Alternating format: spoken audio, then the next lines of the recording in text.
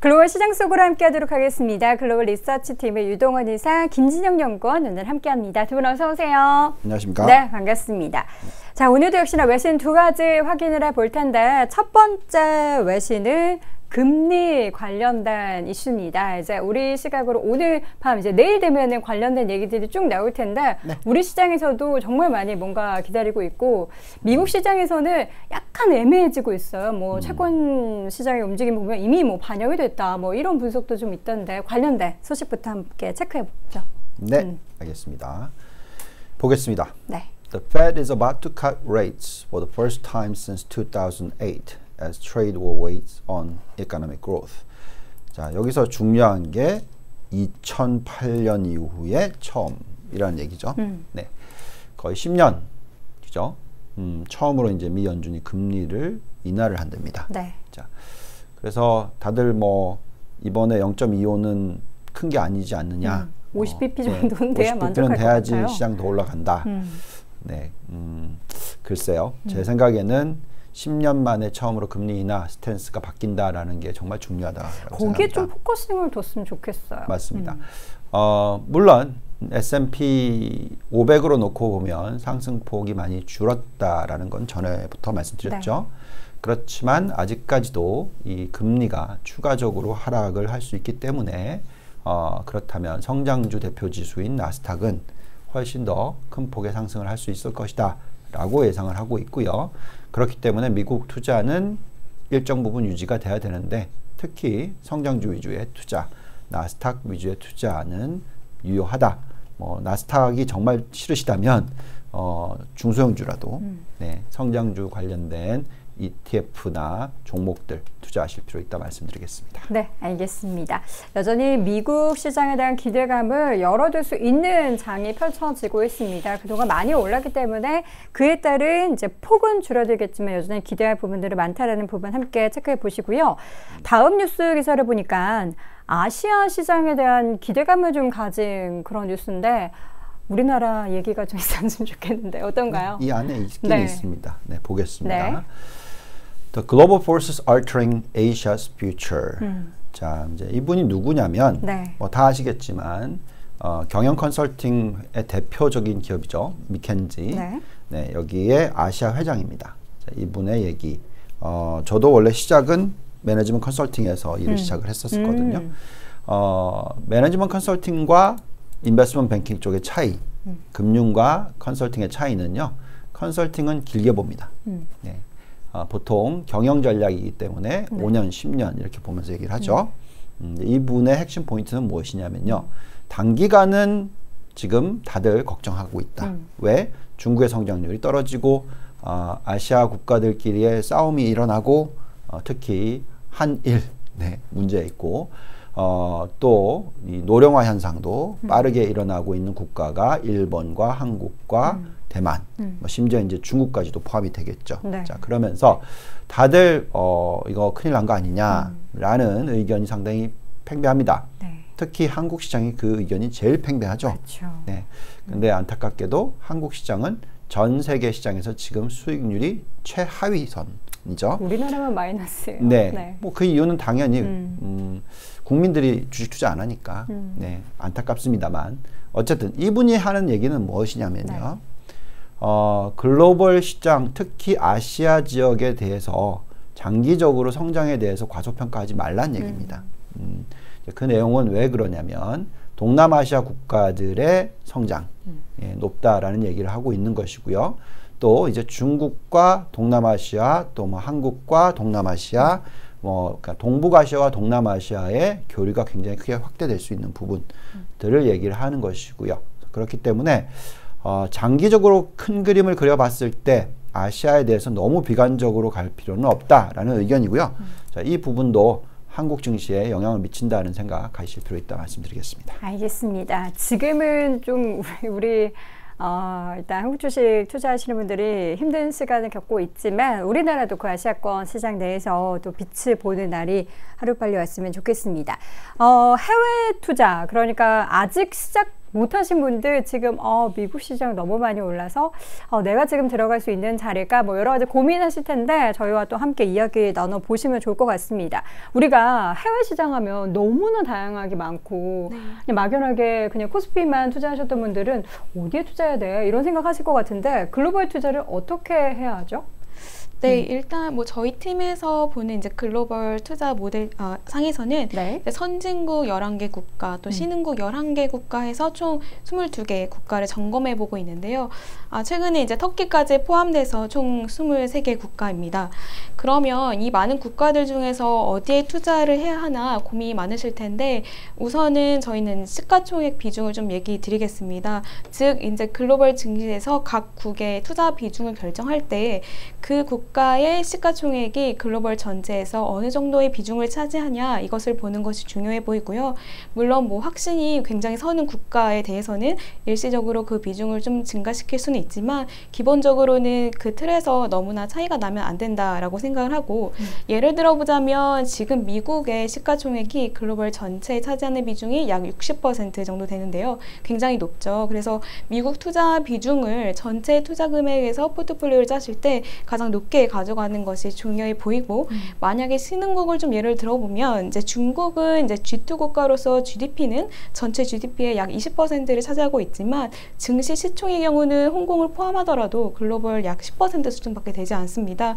따라서 이제 글로벌 투자 금액을 약 10% 기준으로 어, 확대, 축소 비중을 좀 조절하시는 것이 좋아 보이고요. 여기서 이제 초과 투자를 해야 될지 말아야 될지 결정할 때 저희 팀에서 보는 모델이 두 가지가 있는데 네. 계속해서 저희가 이 시간 통해서 말씀드린 이제 잔존 가치 모델과 어, 여섯 가지 글로벌 경제 지표로 보는 식센스 모델이 되겠는데요. 어, 이것을 통해서 이제 국가별 매력도를 점검해보고 거기에 따라서 이제 개별 투자 비중을 조금 더 사, 세밀하게 조정하고 있습니다. 음. 어, 결론적으로 그럼 지금 시점에서는 어떤 국가들이 좋아 보이냐 말씀을 드릴 때는 어, 여기 보시면 이제 선진국에서는 미국의 나스닥 그리고 독일에 대한 관심이 좀 있고요.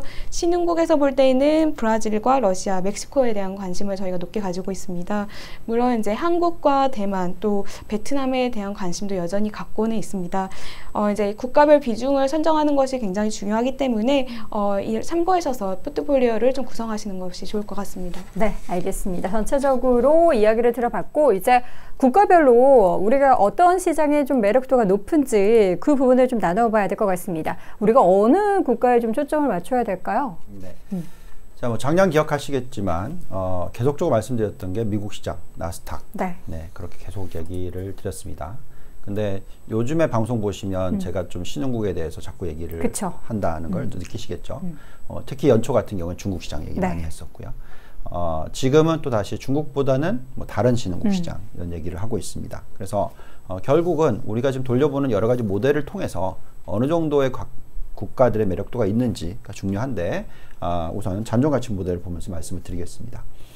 자, 우리가 잔존가치 모델을 돌려보면은요, 지금 현 시점에서 실질적으로 어, 선진국에 대한 매력도가 서, 신흥국보다는 낮아졌다라는 게 중요한 포인트가 되겠습니다.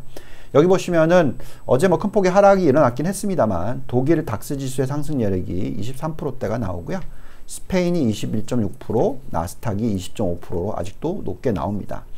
어, 유럽 전체적으로 놓고 보더라도 17.4%로서 미국 다음으로 지금 유럽에 대한 관심이 필요하다. 특히 독일에 대한 관심이 필요하다는 얘기는 하고 있습니다. 음. 그렇지만 지금 보시면은 미국의 S&P 가장 큰 비중을 차지하는 전체적으로 봤을 때 어, 이 상승 여력이 10%대로 많이 줄었습니다. 그래서 전체적인 상승 여력이 어, 14.4%로 과거에 20% 가까이 되던 것이 많이 줄었다라는 음. 얘기를 해드리겠고요.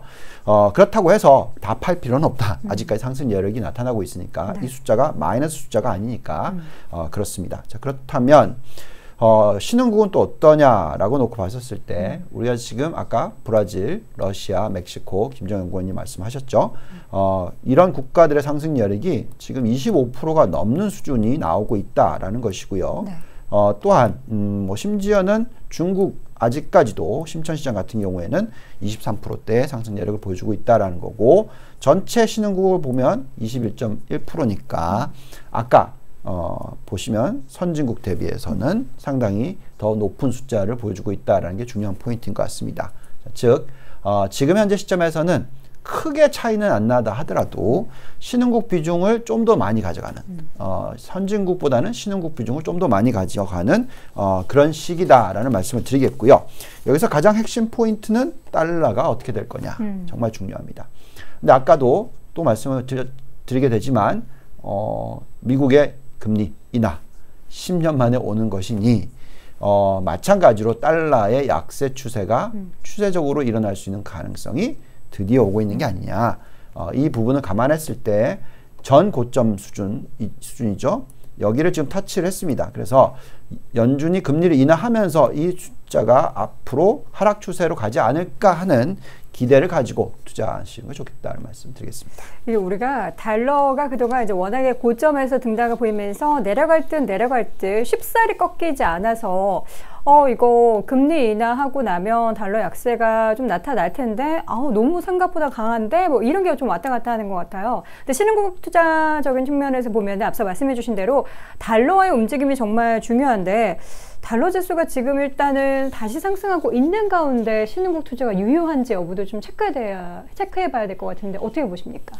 네, 달러가 생각보다 이제 강세를 지속하고 있는 게 또한 네. 가지 요인을 지난주 GDP 발표에서 좀 찾아볼 수 있겠는데요. 음. 지난주에 발표된 미국의 2분기 경제 성장률이 분기 2.1%로 나타나면서 이제 예상했던 1.8%를 상회했고 때문에 이제 미국 연준의 뭐 금리나 속도가 좀 더뎌지는 게 아니냐 이런 얘기를 하시는 분들도 계셨고 네. 실제로 앞선 차트에서 달러가 좀 강세를 보이기도 했습니다. 하지만 말씀드린 것처럼 저희는 이러한 흐름에 좀 변화가 일어날 것으로 예상을 하는데요. 일단 이제 미국의 경제 성장률은 표에서 보시면은 작년 하반기 3% 이상 상대의 성장률에서 둔화되고 있는 것이 사실이고 이는 또 여러 가지 지표를 통해서도 알 수 있습니다. 어, 시간당 임금 상승률이 이제 3%대 중반에서 좀 하락하는 모습, 또 이제 PMI 지표나 주택 지표들이 하락하고 있는 것을 감안해 보면 미국의 경기 둔화는 이제 미중 무역 분쟁 여파로 좀 일어나고 있는 것이 좀 사실이고요.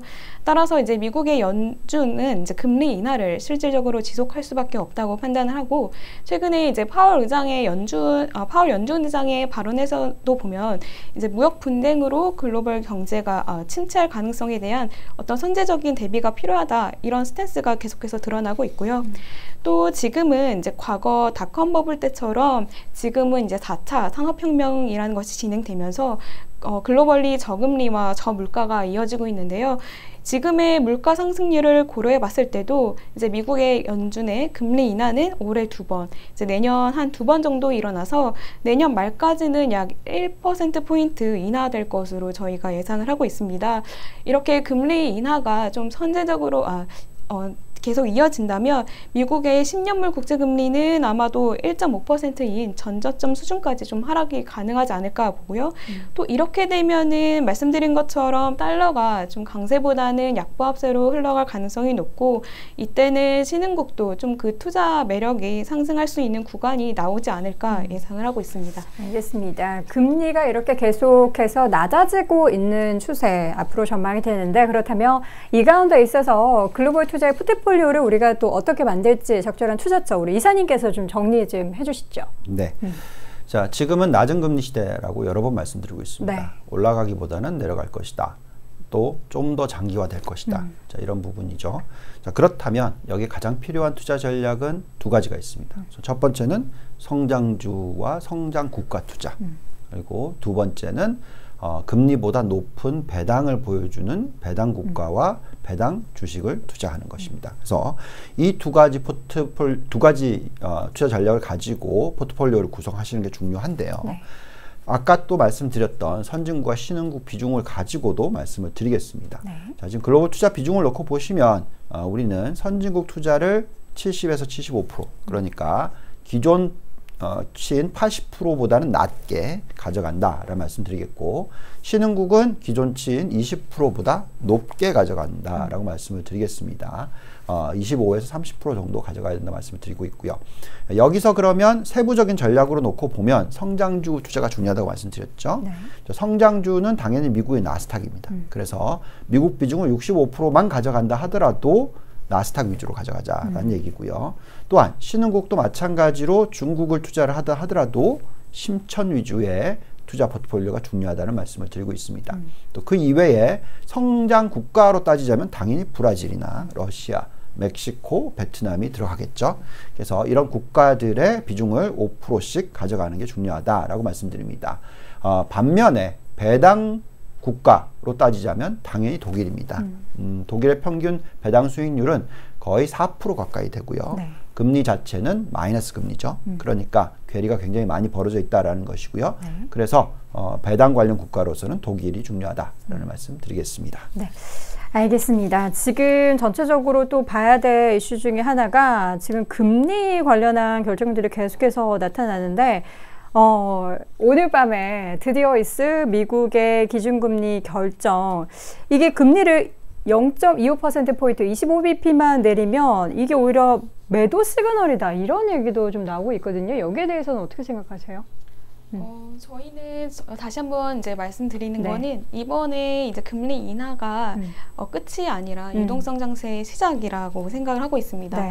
향후 유동성은 더 풀어질 것이 어, 예상이 되고 있고요. 음. 아까도 말씀드렸지만 미국 연준은 이제 내년 말까지 최대 네 차례 정도 금리 인하를 단행할 것으로 저희 팀이 예상을 하고 있고 네.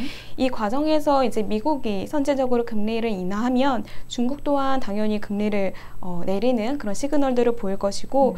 중국뿐만 아니라 영국의 영란은행 또 ECB 또 미국 아 일본의 BOJ까지 차례대로 이제 금리를 최대한 낮추는 이제 인플레를 일으키려는 그런 노력들을 할 것이라고 예상을 하고 있습니다. 음. 따라서 지금은 어떤 자산 가치의 상승 특히 이제 주식 시장의 상 승이 끝나는 시기가 아니고 시작이라고 예상하고 있습니다. 네, 알겠습니다. 이번 주 또 금요일에 글로벌 주식 소그루를 통해서 금리 결정을 하고 난 관련된 또 이슈에 대해서도 이야기 나눠보도록 하겠습니다. 오늘 글로벌 리서치 팀의 유동훈 이사 또 김지정 연구원 함께했습니다. 두 분 고맙습니다. 감사합니다.